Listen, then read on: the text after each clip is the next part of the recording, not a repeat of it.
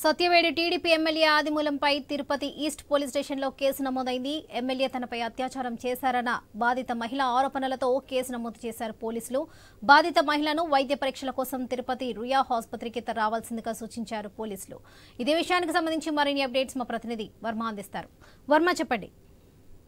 Varalakshmi Satyavedu TDP MLA ఆది మూలానికి సంబంధించి కూడా ఇప్పటికే ఓ మహిళ తన పైన బలవంతంగా అత్యాచారం చేశారంటూ కూడా హైదరాబాద్ ప్రెస్ క్లబ్లో ఆమె నిన్న ఫిర్యాదు చేయడం జరిగింది. దీంతో అంత అలాగే పార్టీ అధిష్టానాన్ని కూడా ఒక లేఖ ద్వారా తనకు జరిగిన అన్యాయం అంటూ కూడా ఒక లేఖను కూడా విడుదల చేయడం జరిగింది. దీంతో వెంటనే టీడీపీ ఏపీ అధ్యక్షుడు వెంటనే ఆమె అతను సస్పెండ్ చేస్తూ కూడా ఎమ్మెల్యేని సస్పెండ్ చేస్తూ కూడా ఓ ప్రకటన విడుదల చేశారు. ప్రస్తుతం ఇంకా అందరితో ఆకుండా అతని పైన కేసు నమోదు చేసేందుకు కూడా నిన్న అర్ధరాత్రి మహిళ తిరుపతికి రావడం జరిగింది. ఎందుకంటే గతంలో తిరుపతిలోని భీమాస్ ఏదైతే హోటల్ ఉందో అక్కడే తన పైన అత్యాచారానికి పాల్పడ్డాడంటూ మహిళ ఆరోపించిన నేపథ్యంలో ఇక్కడే ఆ ఘటనా ప్రదేశానికి సంబంధించిన పోలీస్ స్టేషన్ కావడంతో తిరుపతి ఈస్ట్ పోలీస్ స్టేషన్లో ఆమె నిన్న ఫిర్యాదు చేసింది. దీంతో ఆమె ఫిర్యాదు తీసుకున్న పోలీసులు కేసు కూడా నమోదు చేశారు. సెక్షన్ ఫోర్ థర్టీ పేరు మీద కూడా ఒక కేసు నమోదైనట్లుగా తెలుస్తుంది. అయితే పోలీసులు దీనిపైన అధికార ప్రకటన అయితే ఇప్పటి వరకు అధికారంగా అయితే చెప్పడం లేదు.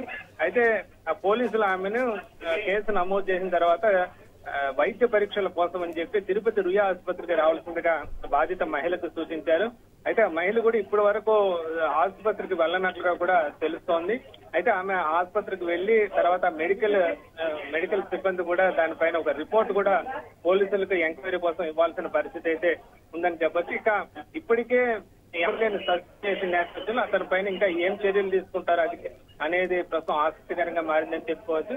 అయితే చేత రాజీనామా చేయిస్తారన్న ప్రచారం అయితే ఒకటి జరుగుతుంది. అయితే ప్రస్తుతం అతను సస్పెన్షన్లో ఉన్న నేపథ్యంలో అతను ఇండిపెండెంట్ ఎమ్మెల్యేగా ప్రస్తుతం ఉన్నట్లుగా చెప్పుకోవచ్చు. దీంతో ఆదిమూలం రాజీనామా చేసేందుకు ఒప్పుకుంటేనే ఆయన రా యొక్క ఆయన పదవి రద్దయ్యే అవకాశం ఉంటుంది. లేకపోతే అతను స్వతంత్ర ఎమ్మెల్యేగా కొనసాగే పరిస్థితి అయితే ఉంటుందని చెప్పొచ్చు. మొత్తం మీద ఈ వ్యవహారం తీవ్ర దుమారం రేగడంతో ఇప్పటికే టీడీపీ అధిష్టానం దిద్దుబాటు చర్యల్లో భాగంగా సస్పెన్షన్ విధించినట్లుగా కూడా చెప్పుకోవచ్చు.